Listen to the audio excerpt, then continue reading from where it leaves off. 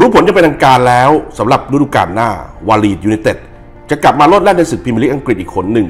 หลังจากสามารถคว้าเดอะแชมป์เดอะแชมเปี้ยนชิพอังกฤษฤดูกาล 2019-2020 เป็นผลสำเร็จ พร้อมกับเป็นการกลับคืนสู่ลีกสูงสุดของพลพรรคยุงทอง เป็นครั้งแรกในรอบ 16 ปีอีกด้วย ช่วงนี้เราจะย้อนไปขุดประวัติศาสตร์กันหน่อยว่า นับตั้งแต่ตกชั้นจากพรีเมียร์ลีกในฤดูกาล 2003-2004 ตลอดเวลา 16 ปีเกิดอะไรขึ้นบ้าง กับลีดส์ยูไนเต็ดผ่านหลายประเด็นที่น่าสนใจ โดยต้องบอกว่ากว่าจะเลื่อนชั้นกลับมาหนนี้ พวกเขาต้องผ่านประสบการณ์ และความยากลำบากมาอย่างโชกโชน ช่วงก่อนที่ลีดส์จะตกชั้นในฤดูกาล 2003-2004 พวกเขาผ่านการคุมทีมจากกุนซือชื่อดังหลายคน อาทิจอร์จเกรแฮมเทอร์รี่เวนาเบิลส์ ปีเตอร์ รีดเดวิดโอเลียรี่โดยเฉพาะรายหลังที่สามารถพาทีมผ่านไปเล่นยูฟ่าแชมเปี้ยนลีกรอบรองชนะเลิศชนิดที่ไล่ฝ่าด่านทีมดังมาอย่างมากมาย แต่อย่างไรก็ตามตั้งแต่ตกชั้นมา ลีดส์ยูไนเต็ดเปลี่ยนแปลงกุนซือไปมากถึง 15 คน หรือเฉลี่ยแล้ว ถ้าเปลี่ยนปีละคนเลยด้วยซ้ำ บางคนก็มีชื่อ อาทิเดนนิสไวส์นีล วอร์น็อกและแกรี่มังค์ขณะที่บางคนแทบไม่เป็นที่รู้จักเลยด้วยซ้ำไป จนมาบรรจบที่มาร์เซโล่ บิเอลซ่า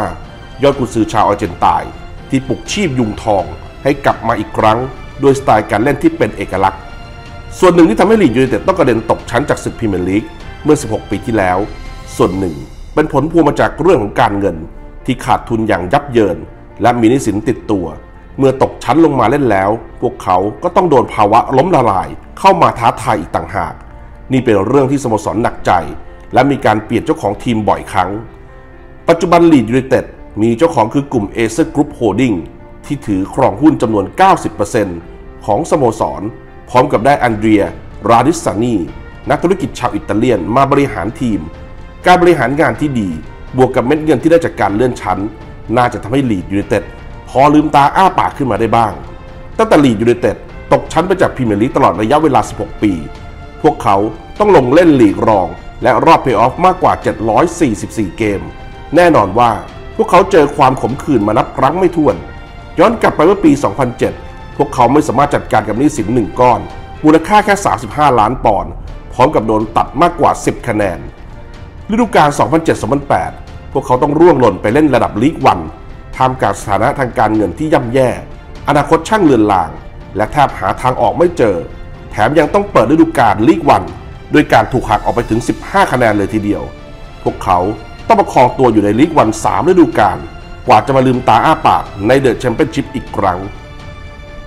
ช่วงแรกที่ลีดส์ยูไนเต็ดตกชั้นจากพรีเมียร์ลีก พวกเขาแทบจะไม่มีเงินในการบริหารด้วยซ้ำไป นักเตะซูเปอร์สตาร์ของทีม ถูกปล่อยตัวไปแทบจะหมดสิ้น เพื่อเป็นการประหยัดค่าใช้จ่าย และเป็นการหาเงินมาใช้ในส่วนที่จำเป็นเท่านั้น พร้อมกันนี้ พวกเขายังตัดสินใจทำบางสิ่งบางอย่าง ที่กระทบความรู้สึกของแฟนบอลอย่างที่สุดลีดส์ยูไนเต็ดต้องออกมาประกาศขายสนามเอลแลนด์โรดของตัวเอง เท่านั้นยังไม่พอ พวกเขายังขายสนามซ้อมของตัวเองอีกด้วย เพื่อที่จะรวบรวมเงินมากู้วิกฤตการเงินของสโมสร จนสามารถต่อลมหายใจได้ กระทั่งการมาของเจ้าของสโมสรอย่างอันเดรียราดิสซานีเขาตัดสินใจซื้อสนามกลับมาเป็นของทีมอีกครั้ง พร้อมตัดเรื่องค่าเช่าสนาม ปีละหลักล้านปอนด์ไปได้เป็นผลสำเร็จ ว่ากันว่าการเล่นในเดอะแชมเปี้ยนชิพเป็นเรื่องที่ยากเสมอ นอกจากต้องลงเตะกับทีมจำนวนมาก ระบบการเพย์ออฟถือว่าเป็นอะไรที่วัดใจเหมือนกัน แน่นอนว่าลีดส์ยูไนเต็ดผ่านการอกหักในรอบเพย์ออฟถึง 2 ครั้ง 2 ครา โดยพ่ายต่อวัตฟอร์ดในรอบชิงชนะเลิศฤดูกาล 2005-2006 และพ่ายต่อดาร์บี้ในรอบ 4 ทีมสุดท้ายฤดูกาล 2018-2019 แม้ทีมจะต้องใช้เวลาถึง 16 ปี กว่าจะเลื่อนชั้นมาสู่พรีเมียร์ลีก แต่อย่างไรก็ตาม แฟนบอลของพวกเขา ถือว่าเหนียวแน่นหนึบเอามากๆ โดยค่าเฉลี่ยแฟนบอลของพวกเขาไม่เคยต่ำกว่าหลัก 20,000 คนเลย แม้ช่วงหนึ่งจะตกลงไปเล่นในลีกวันก็ตามที ขณะที่ฤดูกาลที่ผ่านมานั้น พวกเขามีค่าเฉลี่ยแฟนบอลในสนามตัวเอง แตะหลัก 35,000 คนเลยทีเดียว